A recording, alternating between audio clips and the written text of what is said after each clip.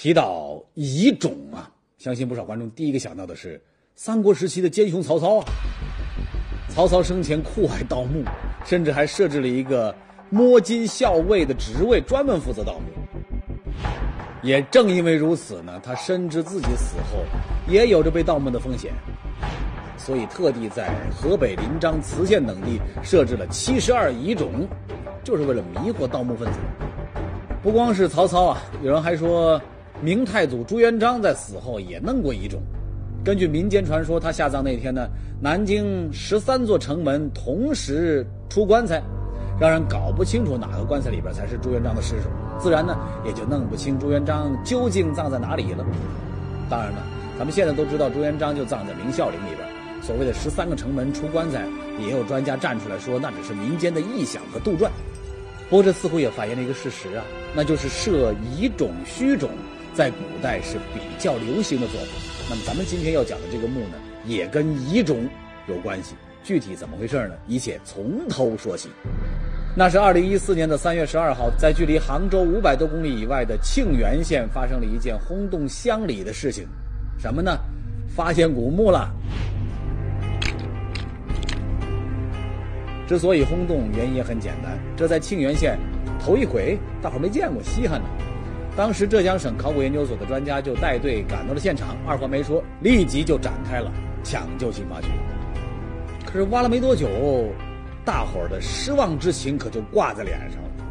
没办法，因为整座墓基本上都被毁了。我们觉得这个墓现在来看，它的价值已经基本上丧失了。这么说吧，到目前为止，这座墓啊，更像是一座空墓。不仅没有任何的陪葬品，就连关于墓主人的哪怕一点点痕迹都找不到。唯一的线索就是，这不是一般人的墓，因为等级规格在那摆着呢。因为这个墓整个残存的墓穴结构规模都是比较大的，还有你看我们现场采集到的，呃，这个他们摊在那里的这种条石啊，还有这个砖啊，这个。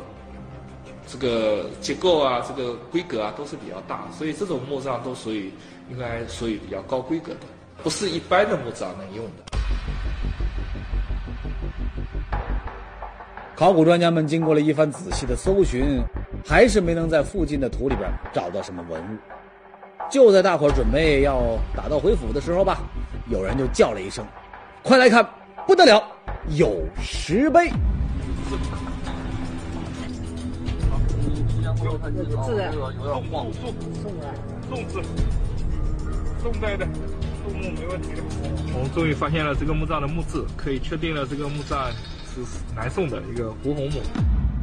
胡洪，这可是位大人物啊！南宋官员，生前曾经官至吏部侍郎，那是朝廷重臣呐。专家们决定暂停对墓葬的发掘，先从这块墓志铭着手研究。经过清洗，这块长五十九厘米、宽三十九厘米、厚六厘米的黑色墓志铭上，清清楚楚地显露出了五百九十五个字。这是由胡红的儿子胡流撰写的，明确记载了胡红的生平。不过有观众要问了啊，刚刚不是说胡红是大人物吗？朝廷重臣吗？怎么他的墓会是空的呢？专家们思来想去，决定在这块墓志铭上来找一找线索。仔细一看，线索就在其中。这里头竟然写了“纳朱土公”四个字。这个“朱”字儿让专家们产生了疑惑。您想啊，如果这个“土公”是指墓葬的意思的话，“朱土公”难道说还有别的墓葬可供容纳吗？想到这儿。考古专家们决定再认真的研究一下胡洪的生平。根据史料记载，胡洪的一生当中做的最重大的一件事情，就是在公元一一九五年，也就是中国历史上的南宋庆元元年，沉浮仕途大半辈子的他，起草了一份奏折，准备弹劾另外一位朝廷重臣。谁呀？说出名字来，您都得替他捏把汗。这是皇帝的老师。大圣人朱熹，他奏书列举了朱熹的十大罪状，痛陈朱熹言行不一、品行虚伪。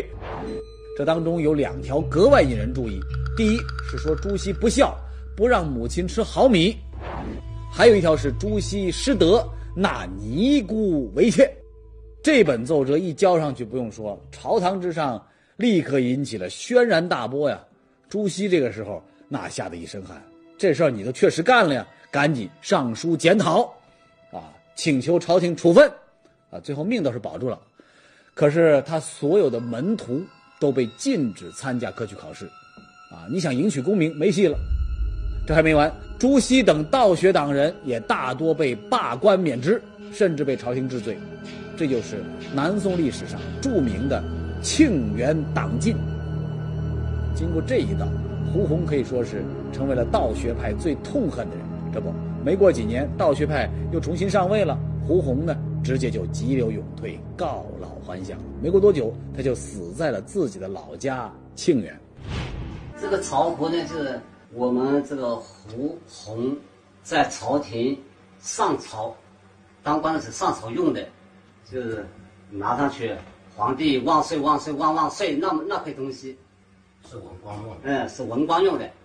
那么它是象牙做的，嗯，规定的就是说要有四品官以上才能够用象牙朝服。而且据说胡红死了以后留下了一个秘密。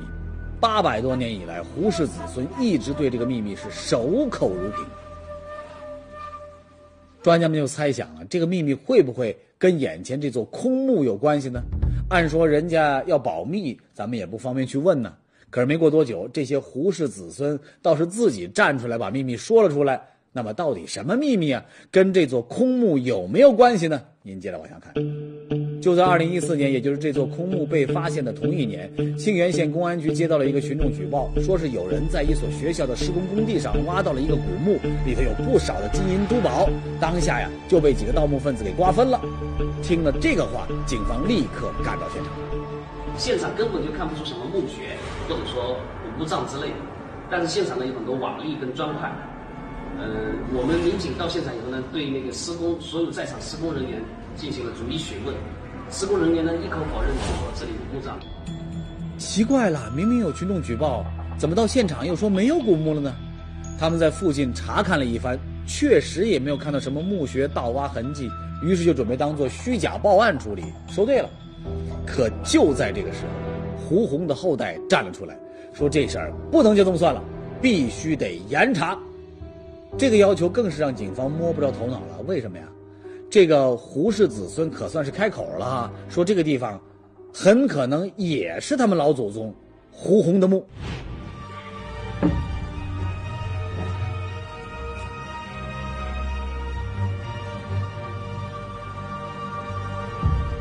在我们家谱里面，就是说十八穴坟墓都记载的一清二楚。